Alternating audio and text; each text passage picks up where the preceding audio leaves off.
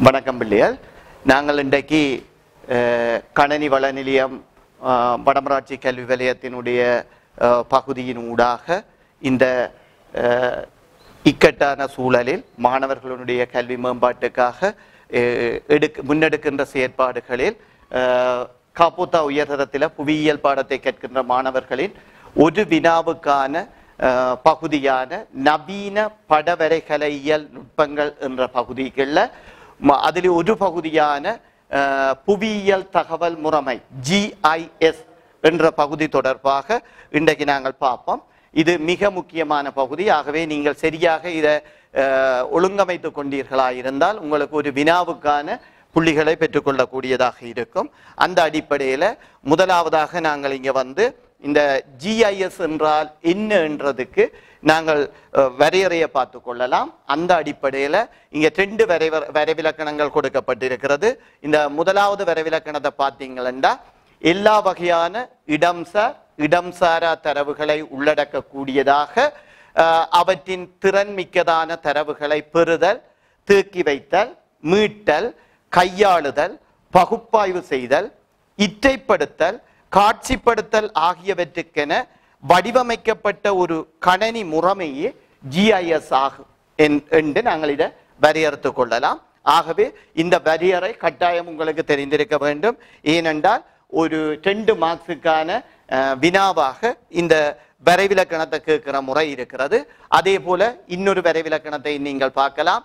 கணனி வன்பொருள் மற்றும் மென்பொருள் ஆகியவற்றை பயன்படுத்தி இடரீதியாக தொடர்புபடும் தகவல்களை திறன்மிக்கதாக பெறுதல் சேமித்தல் தேவைக்கேற்ப இட்டைப்படுத்துதல் கையாளுதல் பகுப்பாய்வு செய்தல் மற்றும் காட்சிப்படுத்தல் என்பவற்றுக்கான ஒழுங்கமைக்கப்பட்ட திரட்டு அம்சமே புவியியல் தகவல் முறைமை எனப்படும். ஆகவே இந்த வரையறையை நீங்கள் தெளிவாக வைத்திருப்பது மிக முக்கியமான விடயம். அடுத்தது நாங்கள் இந்த புவியியல் தகவல் முறைமை என்ற இந்த பிரதான கூறுகள் என்று சொல்லப்படுகின்ற இந்த விடயம் சம்பந்தமாக நாங்கள் முக்கியமாக பார்க்க வேண்டியிருக்கும். ஒரு ஜிஐஎஸ் செயல்பாட்டுக்கு அது அ- செயல்பாட்டிலே ஐந்து முறைமைகள் அங்கே இருக்கும். அந்த பிரதான கூறுகளாக ஒன்று கணனி வன்பொருள் என்று சொல்லப்படுகின்ற கம்ப்யூட்டர் ஹார்ட்வேர் அடுத்தது கணனி மென்பொருள் அதே போல தரவு அடுத்தது முறைமைகள் அடுத்தது பயணிகள் என்று சொல்லக்கூடிய பயனாளிகள் என்று சொல்லக்கூடிய இந்த ஐந்து வகையான பிரதான கூறுகளை நீங்கள் இந்த ஜிஐஎஸ்களில் பார்ப்பீங்க. அதைத்தான் இந்த மாதிரி அமைப்பு உங்களுக்கு காட்டியிருக்குது. அதாவது ஒரு ஜிஐஎஸ்ஸின் கொம்போனன்ஸ் கூறுகள் என்ற விடயத்தை இங்கே தெளிவாக பார்க்கலாம். நீங்கள் data analyst hardware software peoples என்று சொல்லக்கூடிய இந்த விடயங்கள் இங்கே முக்கியம் பெறுறதை நீங்கள் பார்க்கக்கூடியதாக இருக்கும். அடுத்தது நாங்கள் இந்த புவியியல் தகவல் முறைமையின் வன்பொருட்கள் என்று பார்க்கல அது கணனி வினைத்திறன் மிக்க புவியியல் தகவல் தொகுதி உருவாக்கத்துக்கு இந்த வன்பொருட்கள் அடிப்படையாக இருக்குதுன்றதை நீங்க விளங்கிக் கொள்ளக்கூடியதாக இருக்கும். இந்த புவியியல் தகவல் முறையின் நிர்மாணிப்பாக அந்த தரவு அமைக்கின்ற வேகத்தினை கூட்டுவதற்கு அல்லது அதிகரிப்பதற்காக இந்த முறை வழியாக்கி இதில் பயன்படுத்தப்படும் ப்ரோசஸர் என்று சொல்லப்படும் இது. அதே போல கொள்வனவு கூடிய நினைவகம் ரெம் என்று சொல்லப்படுறது ரெண்டம் எக்ஸஸ் மெமரி இதுவும் இந்த கணனி ஜிஐஎஸ் தொழிற்பாட்டுக்கு மிகவும் அடிப்படையாக பார்க்கப்படுகிறது. அடுத்தது கூடுதலான அளவில் தரவுகளை சேமித்து வைக்கிறதுக்கு அந்த இருவட்டு கார்ட் டிஸ்க் என்று சொல்லப்படுகின்ற இந்த விடயமும் ஜிஐஎஸ்ல வந்து மிக முக்கியமானதாக பார்க்கப்படுகிறது. அப்ப இந்த விடயங்களை இங்க நீங்கள் பார்க்கலாம். அந்த அதாவது கணனி வன்பொருளோடு தொடர்புபட்ட இன்புட் அவுட்புட் டிவைஸை இங்க நாங்கள் பார்க்கக்கூடியதாக இருக்கும். இது ஒரு முக்கியமான பகுதி ஜிஐஎஸ்ல நீங்கள் இதை தெரிஞ்சு வச்சுக்கொள்ளணும். அடுத்ததாக நாங்கள் இங்க பார்க்கக்கூடியது இந்த உள்ளீட்டு மூலங்கள் இன்புட் டிவைஸ் என்றது முக்கியமானது. உங்களுக்கு தெரியும் புவியியல் தரவுகளை. எண்ணிலக்க முறையாக மாற்றி கண கணனிக்கு வந்து உள்ளீடு செய்யறதுக்கு அல்லது உள்ளீடு செய்யும் போது இந்த விடயம் முக்கியத்துவம் பெறுறதை நீங்கள் பார்க்கலாம். இந்த இதில் இதுல. இதுல வந்து காந்த இருவட்டு அதே போல திசைப்பலகை பரடிகள் வருடிகள் எண்ணிலக்கமாக்கும் கருவி.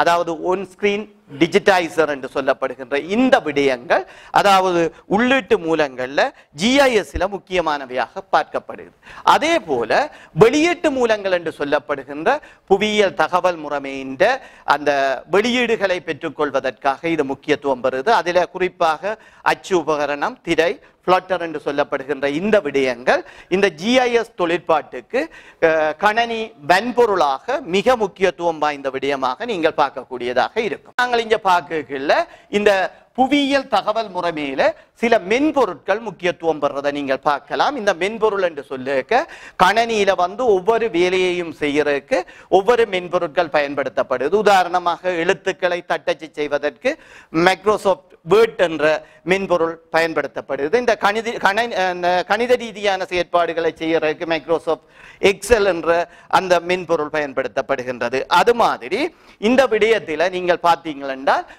புவியியல்ல ம- இந்த முறைமையினை செயற்படுத்துவதற்கு பல்வேறு சாஃப்ட்வேர் அதாவது மென்பொருட்கள் பயன்படுத்தப்படுறதை நீங்கள் பார்க்கக்கூடியதாக இருக்கும். இதுகள் வந்து இந்த மென்பொருட்கள் குறைந்த விலையிலிருந்து கூடிய விலை வரைக்கும் காணப்படும். இதில் நீங்கள் பார்க்கக்கூடிய இந்த வகையான மென்பொருட்கள் இந்த ஜிஐஎஸ் படமாக்கல் முறையில் முக்கியத்துவம் பெறதை நீங்கள் பார்க்கக்கூடியதாக இருக்கும்.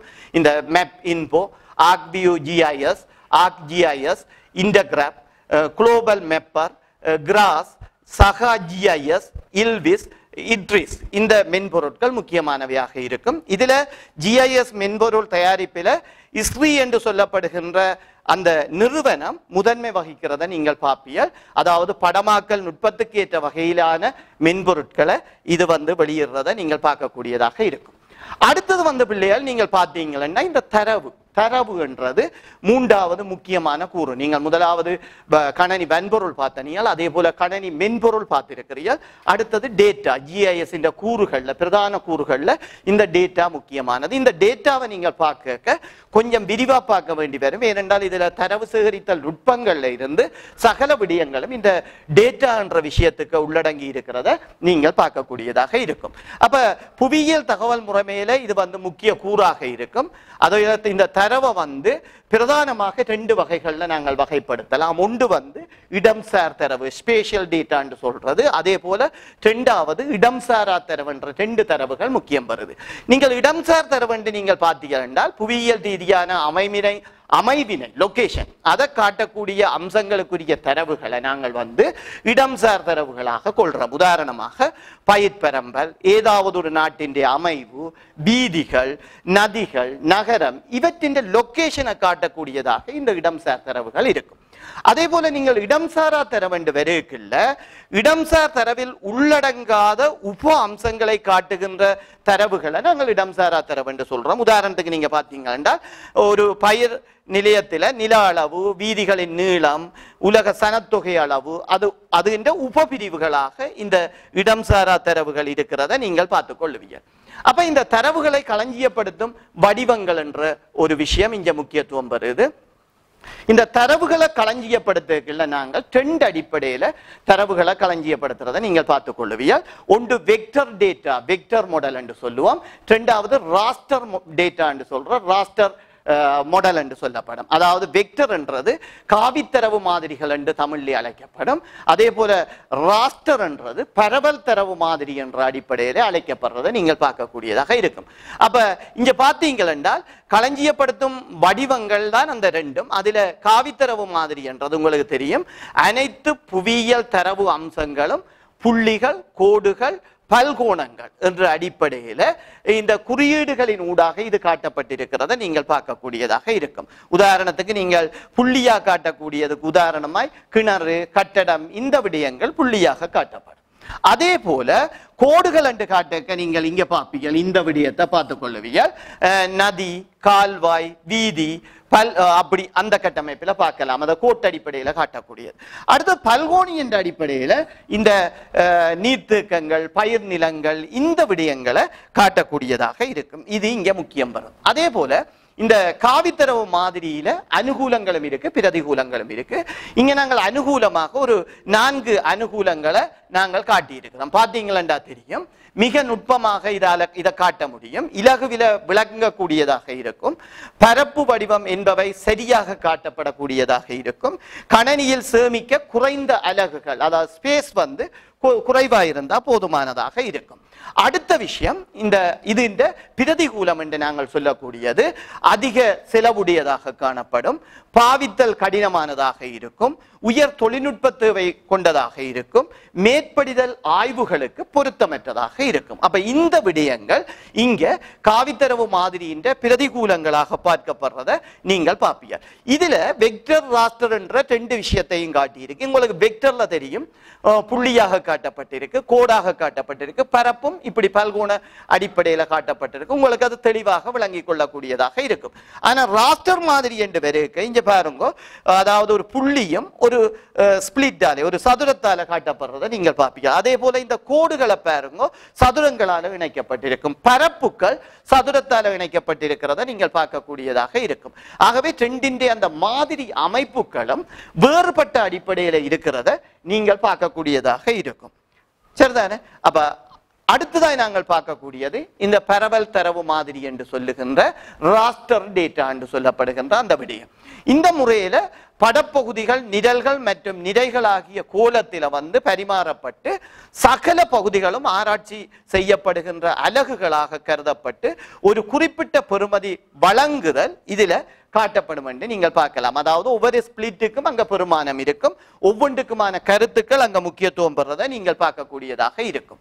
அப்ப இந்த பரவல் தரவு இந்த ரெண்டு விடயங்கள் முக்கியமானதாக இருக்கும். ஒன்று அனுகூலம்.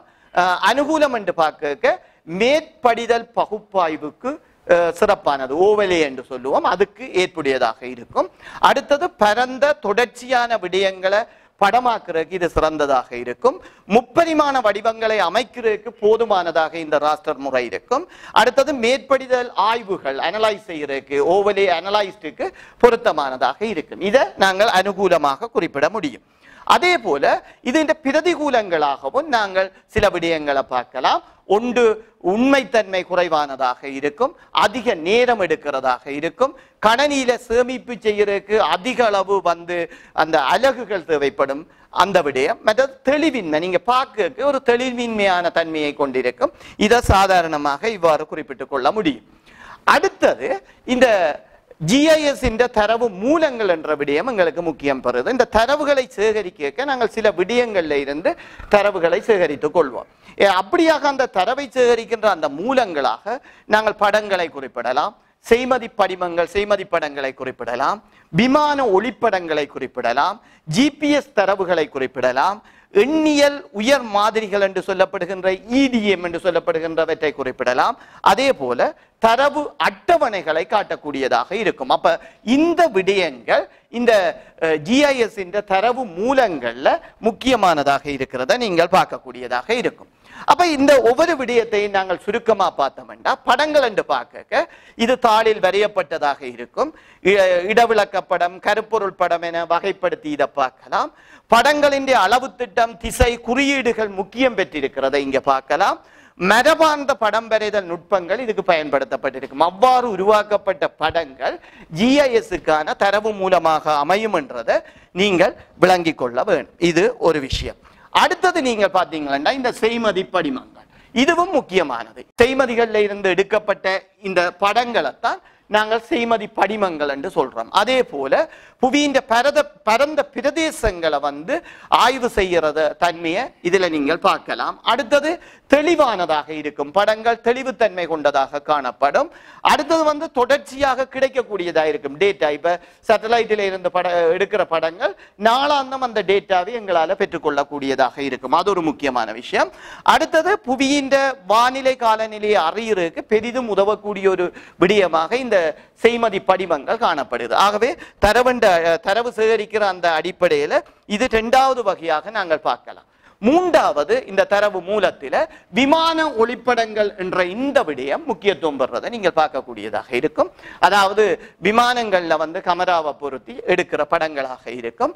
முப்பரிமாண படங்களாக இது இருக்கும். தெளிவுத்தன்மையானதாக இருக்கும். திருத்தியமைக்கக்கூடியதாக இருக்கும். அப்ப இவ்வாறான இயல்புகள் கொண்ட இந்த டேட்டாவும் தரவு மூலமும் முக்கியமானதாக நாங்கள் பார்க்கக்கூடியதாக இருக்கும் என்றதை நீங்க விளங்கிக் கொள்ளணும். அடுத்த விஷயம் இந்த ஜிபிஎஸ் இந்த தரவுகள் தரவுகள்ல வந்து ஜிபிஎஸ்ல இருந்து எடுத்தும் இந்த ஜிஐஎஸ்க்கு பயன்படுத்தக்கூடியதாக இருக்கும். சரிதானே? இது செய்மதிகளோடு இணைந்து செயற்படுகின்ற ஒரு நுட்பமாகும். உங்களுக்கு தெரியும்.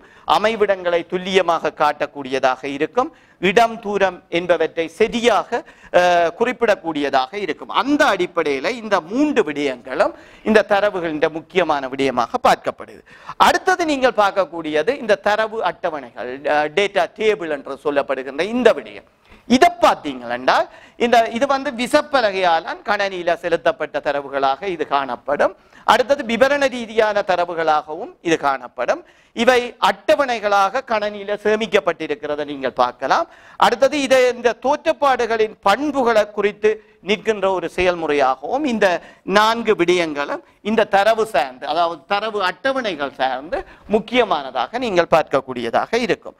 அடுத்த விடயமாக ஒரு இப்ப நாங்கள் அந்த விடயங்கள் பார்த்துட்டு சிறந்த தகவல் ஒன்றின் பண்புகள் எப்படி இருக்கும். அதுக்கும் ஜிஐஎஸ்ல நீங்கள் தெரிஞ்சு வச்சிருந்தானே எல்லாம். இது ஒரு சிறந்த தரவா இருந்தால் அது பயன்மிக்கதாக இருக்கும் ஒரு விடயம்.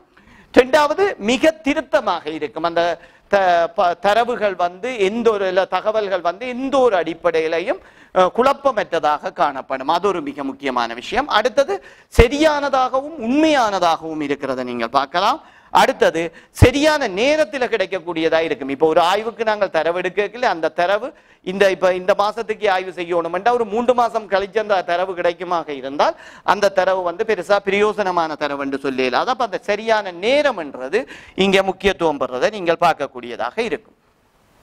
அடுத்ததாய் நீங்கள் இந்த தரவு சேகரிக்கின்ற முறைகளை தெரிஞ்சு கொள்ளணும் பாரம்பரிய ரீதியாகவும் தரவுகள் சேகரிக்கப்பட்டிருக்கு. அதே நேரத்தில் நவீன ரீதியாகவும் தரவுகள் சேகரிக்கப்பட்டிருக்கு. அப்ப இந்த பாரம்பரிய ரீதியான தரவு சேகரித்தல் முறைகள் எவை என்று உங்களுக்கு தெரிஞ்சா தெரியும். உங்களுக்கு நில அளவு என்ற ஒரு விஷயம் இருக்கு. அதே போல ஃபீல்டு ஒர்க் அதாவது கல ஆய்வு என்ற ஒரு விஷயம் இருக்குது. அடுத்தது தியோடலைட் கருவி கொண்டதான ஒரு தரவு சேகரித்தல் முறை இருக்குது.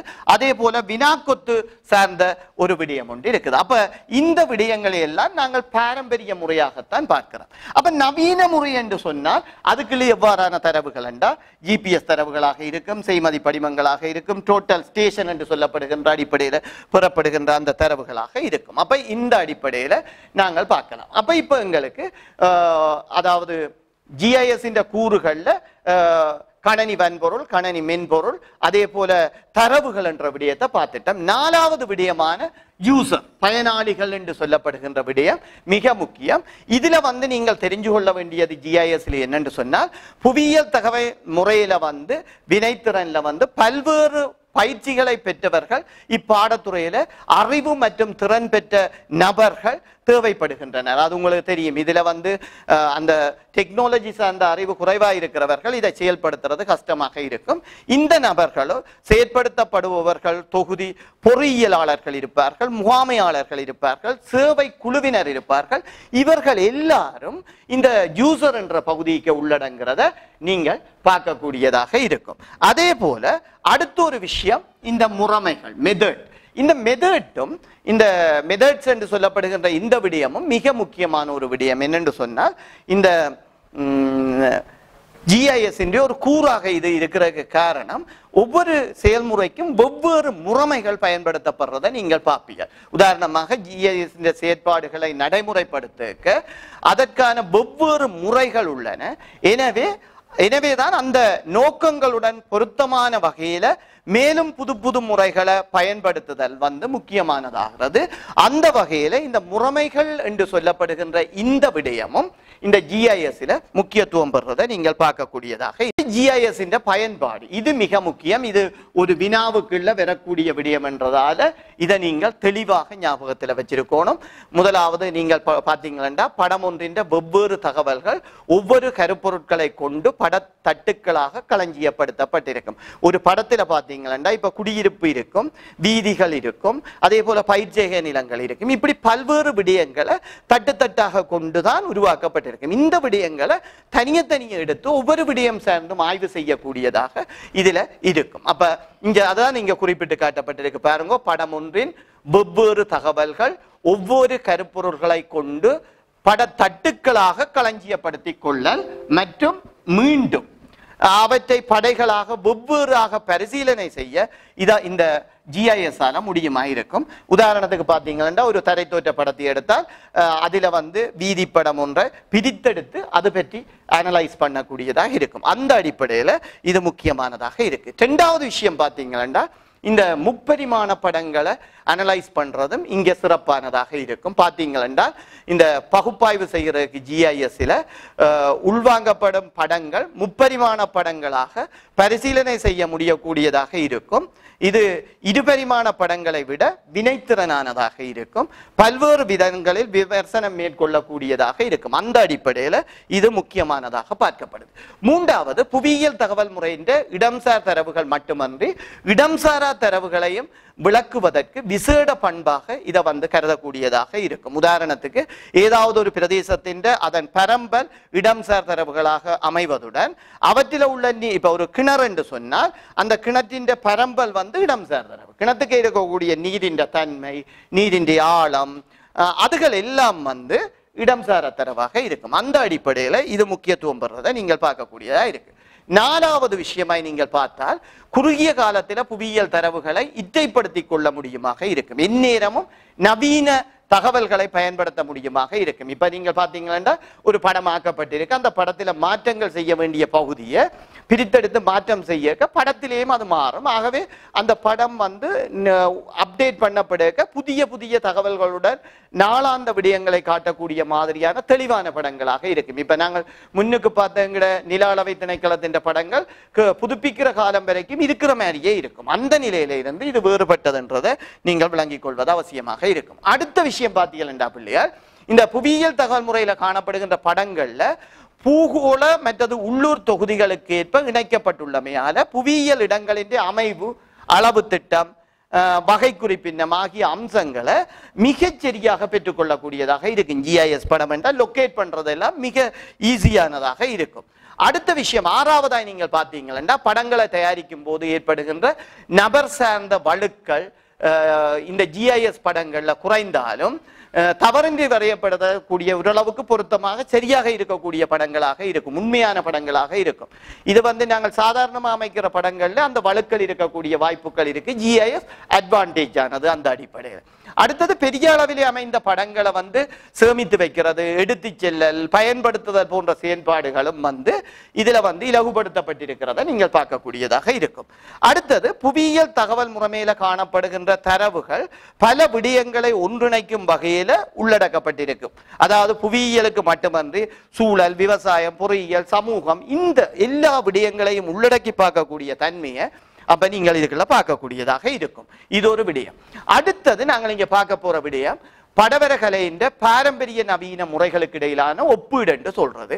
இப்ப பாரம்பரிய முறை நவீன முறை என்ற ரெண்டு விடயங்களை எடுத்து பார்த்தீங்கள் என்றால் மனித அதிகம் பயன்படுத்தப்பட்டதாக பாரம்பரிய முறையில இருக்கு நவீன முறையில தொழில்நுட்பம் அதிகம் பயன்படுத்தப்படும். அதே போல புதுப்பித்தல் கடின கடினம் புதுப்பித்தல் கடினத்தன்மை கொண்டதாக இந்த பாரம்பரிய முறையில் இருந்தால் புதுப்பித்தல் இலகுவானதாக இந்த நவீன முறையில் இருக்கும். அதே போல அதிக நேரம் செலவிடுறதாக இருக்கும் பாரம்பரிய முறை. குறைந்த நேரத்துக்குள்ள செய்யக்கூடியதாக இருக்கு நவீன முறையில். அடுத்தது பாரம்பரிய முறை நுட்பம் குறைவானதாக இருக்கும் இங்க நுட்பம் அதிகமானதாக இருக்கும். அதே போல நம்பகத்தன்மையை பொறுத்தவரையில பாரம்பரியம் குறைவாக இருக்கு நவீனம் நம்பகத்தன்மை கூடுதலாக கொண்டதாக இருக்கும். ஆகவே அந்த ஜிஐஎஸ் படங்கள் நவீனத்துவத்தோட சம்ப சம்பந்தப்பட்டதால இந்த அடிப்படையில சிறப்பானதாக பார்க்கக்கூடியதாக இருக்கும். அடுத்தது நீங்கள் பார்க்க போற மிக முக்கியமான விஷயம் என்னென்றால் இதுவும் ஒரு விடயமாக கேள்விக்கு வந்திருக்கு நீங்கள் எடுத்து பார்க்கலாம். மரபு ரீதியான படமாக்கல் முறைக்கும் புவியியல் தகவல் முறைக்கும் இடையிலான ஒற்றுமைகள். மரபு ரீதியான படமாக்கல் முறைக்கும் புவியியல் ரீதியான படம் படமாக்கல் முறைகளுக்கும் இடையிலான ஒற்றுமைகள். இங்க பார்த்தீர்கள் என்றால் புவியியல் தொடர்பான தகவல்களை தேக்கி வைக்கும் சாதனமாக இரண்டுமே இருக்குது. பழைய படமும் அப்படித்தான் புதிய படமும் அப்படித்தான். அந்த ஒற்றுமை தன்மையை நீங்கள் இங்க பார்க்குறீங்க. ரெண்டு முறைகளும் இடம் சார்ந்த இடம் சாரா தகவல்களை கொண்டிருக்கிறதையும் நீங்கள் பார்க்கலாம். அதுவும் ஒரு ஒற்றுமையாக இருக்கும். அடுத்தது ரெண்டுமே ஜதார்த்த உலகம் உண்மை உலகம் என்று சொல்லப்படுகின்ற உலகத்தில் உள்ள உண்மை விடயங்களைத்தான் ரெண்டு முறை படங்களும் காட்டுறதை நீங்கள் பார்க்கலாம். அடுத்தது ஒரே வகையான அம்சங்களை இரண்டு முறைகளில் நீங்கள் பார்க்கலாம் படமாக்க புள்ளிகள் கோடுகள் பரப்புகள். இந்த அடிப்படையில் அந்த படமாக்கல் இடம்பெற்றிருக்கிறத நீங்கள் பார்க்கக்கூடியதாக இருக்கு நீங்கள் இன்னொரு விஷயம் முக்கியமாக பார்த்து கொள்ளணும் என்னென்று சொன்னால் இந்த மரபு ரீதியான படமாக்கல் முறைகளுடன் ஒப்பிடும்போது இந்த புவியியல் தகவல் முறையின் நன்மைகள் என்ன? ஜிஐஎஸ் நன்மை. இப்போ இருக்கிற ஒன்றோடய ஒப்பிட்டு பார்த்தா தான் இந்த நன்மை விளக்கம் அப்ப இருக்கிற முறை எங்களோட பாரம்பரிய இடவிளக்க படங்கள் சார்ந்த அந்த படங்கள் அதோடு ஒப்பிடுக்க இந்த நவீன முறையில் என்ன நன்மை என்றால் ஒன்று இற்றைப்படுத்துறதும் கையாள்வதும் இலகுவானது. சரிதானே? அதாவது அப்டேட் பண்றது இலகுவானது மேனிப்புலேஷன் செய்யறது இலகுவானதாக இருக்கும். அதே போல தேக்கி வைக்க குறைவான வெளி போதுமானது. ப- பழைய முறையில நீங்கள் பார்த்தீங்கன்னா ஃபைல் ஃபைலா எல்லாம் அடுக்கி வச்சிருக்கும். இது வந்து தொழில்நுட்ப ரீதியில குறிப்பிட்ட ஒரு ஸ்பேஸுக்குள்ளே அடக்கப்பட்டிருக்கிறத நீங்கள் பார்க்கக்கூடியதா இருக்கும். அடுத்தது செலவு மிக குறைவாக காணப்படும். ஏனென்று சொன்னா ஆரம்ப செலவு கூட அந்த சொஃப்ட்வேர் அதுகள் வாங்குறதுக்கு படமாக்கலுக்கு செலவு அது குறைவாக இருக்கும். அடுத்தது படியாக்கல் மேற்படிதல் வசதிகள் வந்து காணப்படுறது ஒரு சிறப்பம்சமாக இருக்கும். இது ஒரு கேள்வி. கேள்விக்கான ஐந்து விடயங்களை குறிப்பிட்டிருக்கு. நீங்க பார்த்து கொண்டா இருக்கும். அடுத்தது அளவு திட்டத்துக்கு அமைய பெரிதாக்கும் சிறிதாக்கும் வசதிகள் இருக்கும். படத்தை பெருப்பிச்சும் பார்க்கலாம் ஜூம் பண்ணி சிறப்பிச்சும் பார்க்கலாம். அளவு திட்டத்துக்கு ஏற்பாது நிகழும். அந்த பாரம்பரிய முறையிலே அதுகள் இருக்காது. அது இங்க பார்க்கக்கூடிய அட்வான்டேஜாக இருக்கிறத நீங்கள் பார்ப்பீங்க.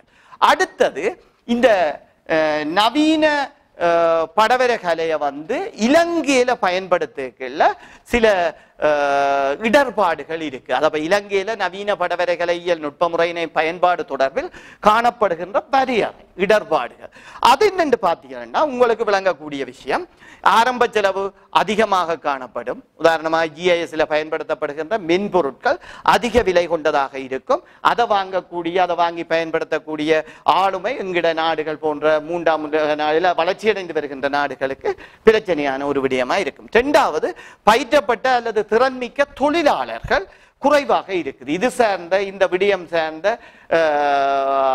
தொழிலாளர்களை எங்கட நாடுகளில் பெற்றுக்கொள்வது மிக கஷ்டமாக இருக்குது. அது ஒரு வரையறையாக இருக்குது. மூன்றாவது இந்த கிராம பகுதிகளில் பயன்படுத்த ப- பயன்படுத்துறது கடி கடினமாக இருக்குது. பல பகுதிகளில் என்னென்னு சொன்னால் இணைய வசதி மின்சார வசதி குறைவாக இருக்கிற இடத்துல இந்த ஜிஐஎஸ் ஏற்பாடுகளை செய்கிறது கஷ்டமான ஒரு விடயமாக இருக்குது அடுத்தது தொழில்நுட்பம் இந்த நாட்டில் இயல்பாகவே குறைவாக இருக்கிறது.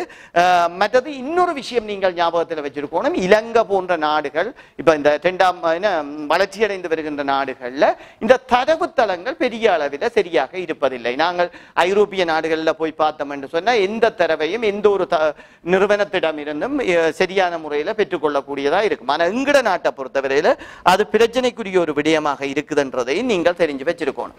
அடுத்தது இங்க நாங்கள் இந்த ஜிஐஎஸ் பிரதான செயல்முறைகள் என்று ஒரு சில விஷயம் இருக்குது. நீங்கள் தெரிஞ்சு கொள்ளணும். முதலாவது இன்புட் பண்றது உள்ளீடு செய்கிறது ரெண்டாவது கையாளுதல் அல்லது மாற்றி அமைத்தல் என்று சொல்ற மேனிப்புலேஷன் என்று சொல்றது. மூன்றாவது மேப் மேக்கிங் என்று சொல்றது. படம் வரைபடம் தயாரிக்கின்ற அந்த செயல்முறை. நாலாவது முகாமை செய்கின்றது மேனேஜ்மெண்ட் ஐந்தாவது வந்து அனலைஸ்ட் அதாவது பகுப்பாய்வு செய்கின்ற விடயம். ஆறாவது வந்து விஷுவலைசேஷன் அதாவது காட்சிப்படுத்துகின்ற அல்லது வெளியீடு செய்கின்ற செயல்முறை. இந்த விடயத்தையும் நீங்கள் ஜிஐஎஸ்ல பார்க்கக்கூடியதாக இருக்கும். அப்ப அடுத்ததாய் நாங்கள் இந்த விடயம் சார்ந்த முழுமையான ஒரு தொகுப்பை நாங்கள் பார்த்தோம் என்று சொன்னால் எங்களுக்கு இப்ப ஜிஐஎஸ் என்ற விடயம் உங்களுக்கு தெளிவாக இருக்கும். ஜிஐஎஸ் என்றால் என்ன என்று வரையறுக்க தெரியணும் இரண்டாவது ஜிஐஎஸ் பிரதான கூறுகள் அவை அந்த ஐந்து கூறுகளும் தெரியணும் அதுல ஒவ்வொரு கூறுகளுக்கேயும் சொல்லப்பட்ட விடயங்கள். அதுல குறிப்பாக மூன்று கூறுகள் பற்றி தெளிவாக இருக்கணும் கணனி வன்பொருள் கணனி மென்பொருள் தரவு. அந்த தரவு என்ற விடயத்தில் நீங்கள் நிறைய விடயங்களை சேமிச்சு கொள்ளக்கூடியதாக இருக்கணும். அந்த விடயங்கள் தரவு தான் இந்த ஜிஐஎஸ் ஏற்பாட்டுக்கே முக்கியமான விடயமாக இருக்கும் அந்த அடிப்படையில். அதுக்கு பிறகு இந்த பாரம்பரிய படங்கள் நவீன படங்களுக்கு இடையிலான ஒப்பீடுகள் இலங்கையிலே அதை பயன்படுத்துறதுல இருக்கக்கூடிய மட்டுப்பாடுகள் இந்த விடயங்களும் உங்களுக்கு தெரிஞ்சிருக்கணும். அதை விட பாரம்பரிய முறையில இருந்து இந்த நவீன முறை எந்த அடிப்படையில் வேறுபட்டு இருக்கிறது அதாவது முன்னேற்றகரமானதாக இருக்கிறது அட்வான்டேஜான விடயங்கள் என்ன? இந்த விடயங்களையும் நாங்கள் அனலைஸ் பண்ணக்க எங்களுக்கு இது ஈஸியாக இருக்கும். கடந்த ரெண்டாயிரத்தி பதினோராம் ஆண்டுக்கு பிறகு தொடர்ச்சியாக ஒவ்வொரு வருடமும் படவேலை பகுதியில இந்த நவீன படவேலைகளை நுட்பங்கள் சார்ந்து ஒவ்வொரு வினாக்கள் வந்திருக்கும். நீங்கள் அந்த வினாக்களை எடுத்து பாருங்க மிக இலகுவாக இருக்கும். அந்த வினாக்களுக்கு நீங்கள் பார்க்கல இங்க இங்க நான் சொன்ன விடயங்கள் உங்களுக்கு தெளிவாக விளங்கக்கூடியதாக இருக்கும். ஆகவே அந்த வினாக்களுக்கான விடையாக நீங்கள் இதை இதில் இருந்து அடிப்படை அறிவை பெற்றுக்கொண்டு செயல்படக்கூடியதாக இருக்கும். இது மேலதிகமாக விடயங்களுக்கு போகையில் உங்களோட காப்போத்தா பாட அலகுகளுக்கு உட்பட்ட வகையில் இது தயாரித்து வழங்கப்பட்டிருக்கிறது. ஆகவே இதை கருத்தில் எடுத்து சிறப்பாக செயற்படணும் என்று கூறி அடுத்த ஒரு வீடியோவில் உங்களை சந்திக்கும் வரை வணக்கம். நன்றி.